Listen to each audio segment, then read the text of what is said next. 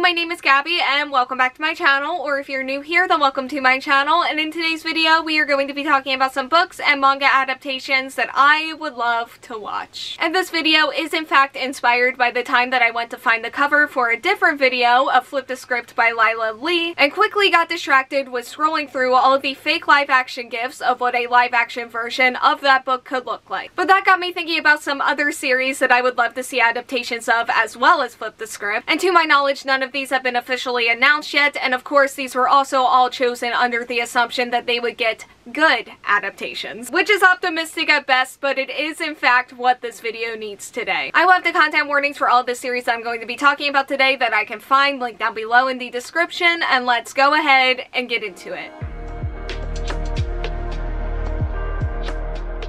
First up is going to be Flip the Script by Lyla Lee. And this follows our main character who lands the lead role in a new K-drama and she agrees to a contracted romance with her co-star who is falling for her but she's not interested in him beyond what the contract entails. However, when the showrunners bring on a new lead actress who challenges her role as the main love interest, our main character must fight to keep her position while also falling in love with her on-screen rival. And yeah, those gifs were adorable. And I would just love to see our characters here having fun and being in love in a live action setting because this book does have a lot of that and it's one of those books that one of the many reasons why I love it so much is because it was able to take that happiness inside of this story and just send it right to my brain to make my day better. And I feel like an adaptation of this story would have a similar effect and just be a huge comfort watch. I would also really love to see live action versions of the dates that they go on in here because they go to a lot of really fun and cool places in South Korea. So yeah, it's adorable, it's fun, there's some tension and emotional moments and drama. It's very coming of age and I would just love to see this so much. And next up is Dreadnought by April Daniels. And Dreadnought follows our main character Danny who is trying to keep everyone from finding out that she is transgender, but that all changes when the superhero Dreadnought is murdered right in front of her eyes. And when he transfers his powers to her, Danny suddenly finds herself in the body that she always should have had. However, alongside of all the confusion of coming out, Dreadnought's murder Utopia is still on the loose and it's up to Danny to stop her. So I have experienced a good amount of superhero fatigue recently which is some of the superhero shows that I've really loved in the past just not really working for me like they used to. I'm also not really seeking any out either and even the ones that I have watched and really enjoyed, I had to work myself up to watch them because I just really didn't feel like it but I feel like Dreadnought could be the exception to that because I feel like they have a lot of really cool and interesting hero and villain concepts. I also thought the superhero and villain society and also the in-between superhero and villain society was all really interesting. And the series also has a lot of really violent and action-packed fight scenes that got me invested in ways that many action scenes haven't. And I would also just love to see Danny and the romance and just watch her stand up against and fight all of the transphobes in this book, of which there are many, so again, content warnings. This was definitely not an easy read at times. I feel like Danny got to have a lot of really cool superhero moments as well, and this book very much did read like the book version of a comic book, which on that note, I would also really love to see a graphic novel version of this as well as an adaptation. I don't know if this book would fully break me out of my superhero slump, but I feel like it's at least worth a try, and at the very least, I feel like it would be a nice break from it. Next up is Kagurabachi by Takeru Hokazono, and this follows our main character who is the son of a renowned swordsmith when he sets out to find the last of his father's swords on a quest for revenge against a villainous group. Honestly, I debated putting this one in this video because I feel like this series is already well on its way to having a very successful anime adaptation someday. Like, I feel like it's got that in its future for sure, but as of right now, they haven't been confirmed for it yet, and they're still in the early stages of their manga, so that makes sense, but yeah, I would love to see these chapters animated someday. I feel like they have a really cool aesthetic when it comes to their art style and the characters and even the action scenes, and if the right studio gets a hold of this, I feel like there could be some really cool fights and just really cool animation as a whole. And there also have been multiple moments while I've been reading this series where I've thought to myself that I'm going to enjoy this specific scene or understand this a little bit more once I see it again in an anime adaptation. Like, I already love this series and I am very much rooting for them and their future success, but I also feel like an anime adaptation would fully solidify my love and investment in this series because I don't feel like we're fully there yet, but they also just might be one arc or even one chapter away from getting it on their own. And I've been wrong about these things before in the past, but I do think that it is safe to say that this series does have a very bright future ahead of it, and I'm just looking forward to seeing Next it. Next up is Squire by Sara Alfageeh and Nadia Shammas, and this is a graphic novel that follows our 14-year-old main character who has always dreamed of becoming a knight, and since the Empire is on the brink of war, she can finally enlist in the Squire training program. She then finds herself at a camp where she must hide her true background while also navigating friendships, rivalries, and intense training. However, she soon realizes that she and the other recruits may be in more danger than she ever could have imagined. This is one of those graphic novels that came to life so quickly for me that I could very easily see it animated, as in just like a really solid fantasy action adventure cartoon. From the characters to the art style to just the story itself and how it unfolds. Does it really need one? I mean, no, not really. Like I said earlier, the graphic novel really does bring everything to life really well, but I do think it would be cool and I do think it would really work. Next up is These Violent Delights by Chloe Gong. This is a Romeo and Juliet retelling that is set in 1920 Shanghai. There are rival gangs and a monster, and our main character has to team up with her first love, who is also her first betrayal. And together they have to set aside their guns and their grudges in order to stop all of the mayhem. Okay, so this spot is not only for this book, but also just for the whole universe all the way through the Foul Lady Fortune duology. And what I would love to see most from a live action version of this are just the characters, because I love them dearly. Like, I have daydreamed about this series getting announced for a live action and what that could look like, and just getting to see the characters and the romance and the storyline and just the whole aesthetic and the world come to life. Like, this is one of my favorite series, one of my favorite universes that I've ever read, and like, it all just lives in my brain so clearly, and I would just love to see it become reality one day. Next up is This Poison Heart by Kalynn Bayron, and this follows our main character who has a hidden power over plants. And when she inherits a house from her birth mother, she also gains a place to test out her powers. But as she begins to bring the garden back to life, she uncovers that she has also inherited a dark secret. And as she begins to uncover it, she realizes that she is going to have to accept that she is the keeper of the dark power of the poison garden. This is a book that takes place in the summer, but I feel like it really has a fun and cool spooky fall vibe to it, especially when it comes to the mystery. And while I was reading this book, I feel like I could map out the episodes that this could have. And I feel like the structure of the story would work really well in that format. And I would just love to see all of the plants and the plant magic come to life because the descriptions in here were incredible. And then I would also just love to see the house itself get adapted and just getting to explore that in a new way. Like this is another one that I feel like I can see happening so clearly and even the more adventurous nature of the second book could be fun in a live action setting. And I feel like I might even like that second book even better in a live action setting because I unfortunately wasn't as big of a fan of it as I was this first book when I read it. So that would be really cool if it ever happened, but the series also does a lot of really cool things that I would love to just get invested in all over again in a different way. And finally is You and I Are Polar Opposites by Kocha Agasawa. And this is a romantic comedy that follows our main character Suzuki who falls in love with the quiet boy in her class named Tani. This is a series that I've been reading almost from the very beginning over on the Manga Plus app where it lives and I started reading it originally because the art style looked cute and I have a huge weakness for really cute and wholesome romance manga and yeah, this is that. It's funny, there are some really amazing characters and the couples are just so sweet and wholesome. Like I feel like my heart explodes a little bit every time I read a chapter from this series. And I would just love to see this series get more love and attention because I feel like it's underrated despite the award nominations and the physical volumes starting to release. And I feel like they would just make for such a wonderful and adorable romance, comedy, slice of life anime series. And honestly, out of everything that I've talked about today, I feel like this may be the one that I want the most, which is saying something. And this is just one of my favorite series that I'm reading right now for sure, and I am reading a lot of good things. Okay, so that is all that I have for today's video. Thank you all so much for watching. Like, comment, subscribe, hit the bell, and answer the question that'll be around here